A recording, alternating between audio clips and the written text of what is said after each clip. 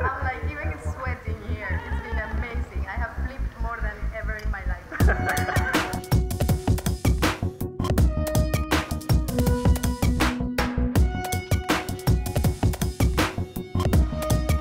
Here we are at EmTech where I will be part of three sessions. One about smart materials and the future of wearables. How can we use the Internet of Things to avoid generating so much electronic waste? And women in technology entrepreneurship.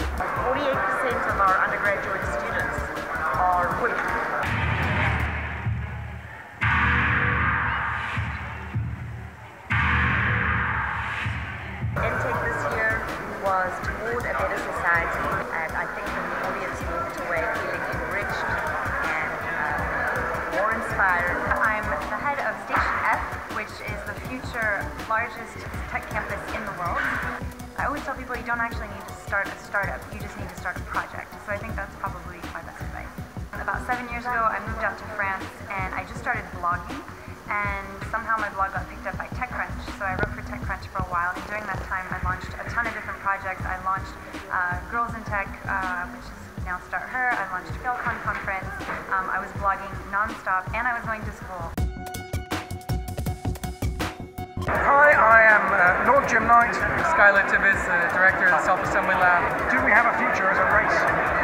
I think we do because I think it's much tighter of a collaboration. We can offer creative juices, materials can offer like sensing capabilities, machines can offer repetition, and we can achieve something together. How does that work with people who feel left behind by the economy already? They have a future enhanced by machines, or will they be replaced by machines? Maybe we'll just be like really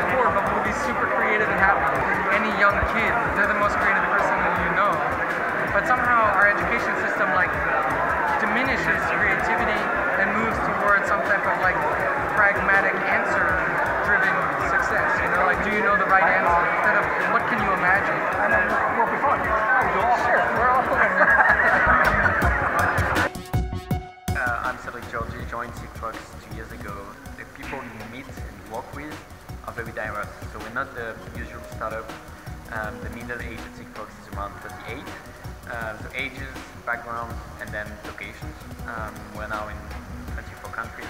What we want to nurture and keep is how do we, get even more value from this diversity of people. Can you say anything about any future plans? don't want to use connectivity. We want to get a new service or we're going to get an advantage from the fact that it's connected. Completely in line with the MIT Media Lab, um, David Rose, wrote this book, Enchanted Objects. You don't care it's connected, you get the, the, the output, which is better life. I don't know if you can mention anything about the financial model there, because obviously there is a lot of investment now to create all these networks. Just to give you an idea, it's uh, a few dollars per year per device.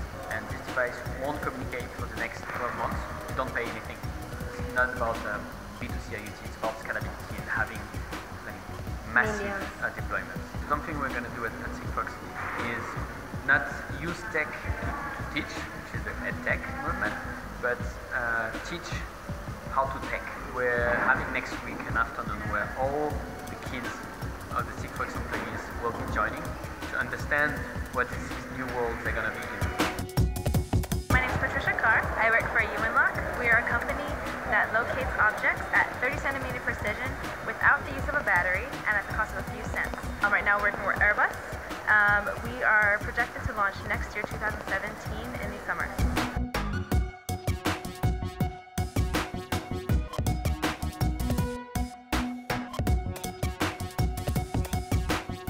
It's a transaction network.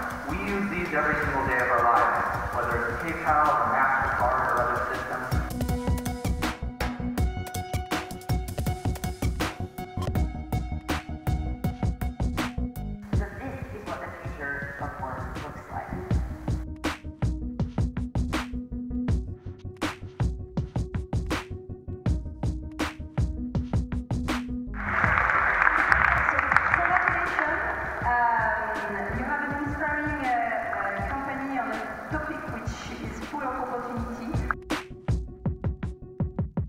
We are very, very small company and uh, we start in the garage of home and grow up very quickly in less than one year.